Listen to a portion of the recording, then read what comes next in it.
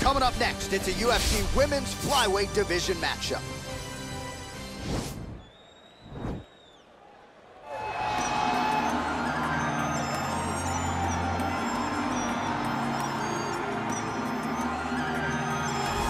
For my money, she is as accomplished a striker as any woman in the game at present. Tonight, though, she's got to focus on keeping this fight upright. She has to stay on her feet. If she is taken down early, it will be a long night for her.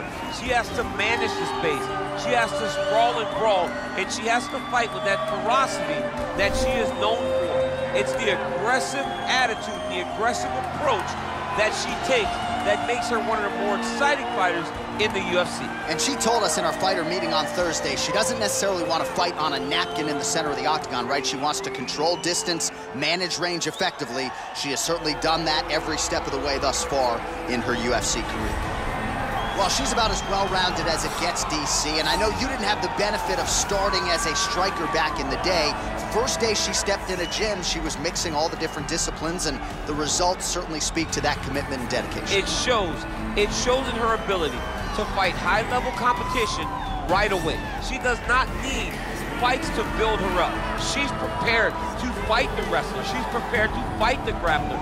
She's prepared to do a kickboxing match with the best kickboxer her life has prepared her yeah. for these moments. All the training, all the sessions, all the private sessions has made her ready to compete for a title right away. Yeah, I would agree, and, and at least the early returns are that she looks comfortable and confident in every discipline and every martial arts situation. All right, just about ready for live action. Here is tonight's tale of the tape. More than a decade separates these two fighters when it comes to the age, and they both possess a similar height and reach. All right, now for the official introductions, we send it inside the octagon to Bruce Buffer. Ladies and gentlemen, this fight is three rounds in the UFC flyweight division. Introducing first, fighting out of the blue corner. This woman is a kickboxer holding a professional record of 14 wins, no losses. She stands 5 feet 7 inches tall, weighing in at 116 pounds. Fighting out of Toronto, Ontario, Canada, Zhang.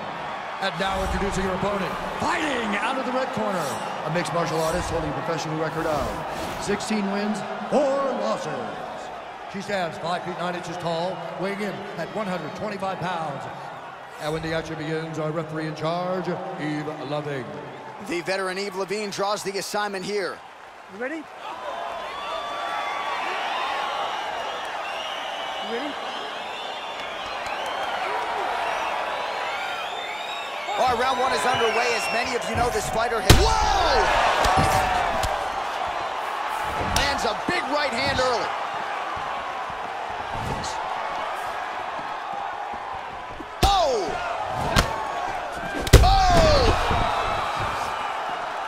Can never, can't take pictures now. She has to react. She has to go chase the finish.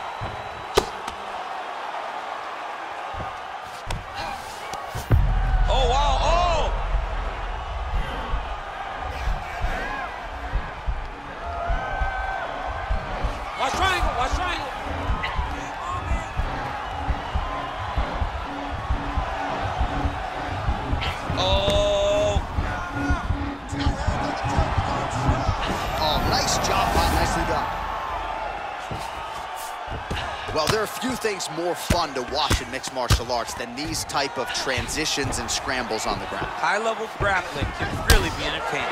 Oh, nasty cut there, right on the bridge of the nose. Oh.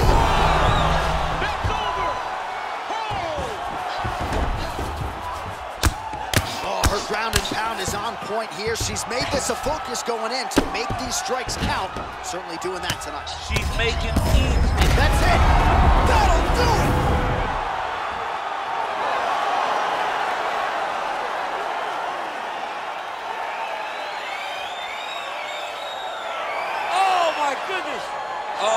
goodness, what a fight. That was a good stoppage by the referee. She was not effectively defending herself, and the opponent was doing some real damage. It became a dangerous situation. I think it's the right call by the official, and she will live to fight another day.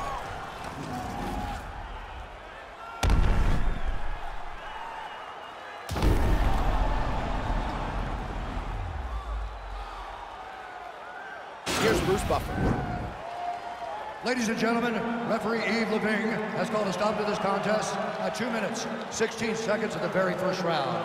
Declaring the winner by knockout, Zhang! Well, there's